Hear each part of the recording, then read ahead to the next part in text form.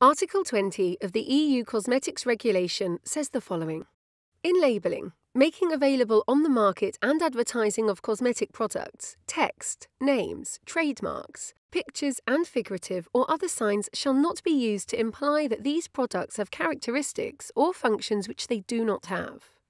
That means that all the claims that you include on your cosmetic products must be proven, except if they're obvious or clear exaggerations. Proof of the effect claimed is also part of the cosmetic product information file. How can you prove your cosmetic product claims?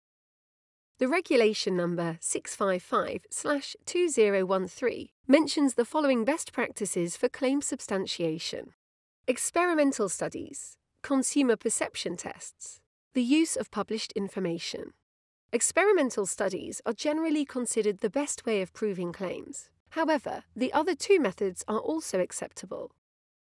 Experimental studies include, but are not limited to, studies in silico, in vitro, ex vivo.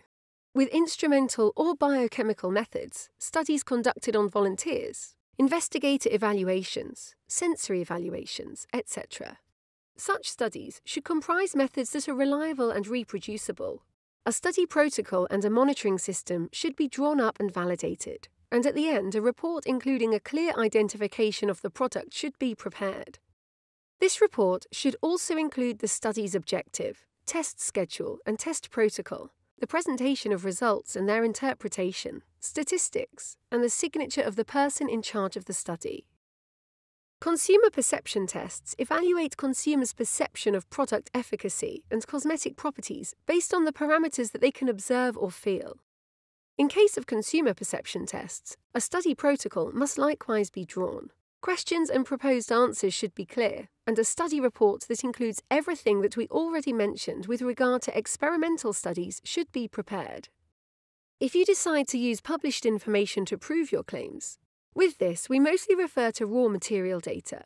You need to make sure that the ingredient in question is stable in the finished product and that its activity is maintained in the product. As for the ingredient efficacy, the concentration of the ingredient in the final product should reflect the levels at which the claim has been substantiated.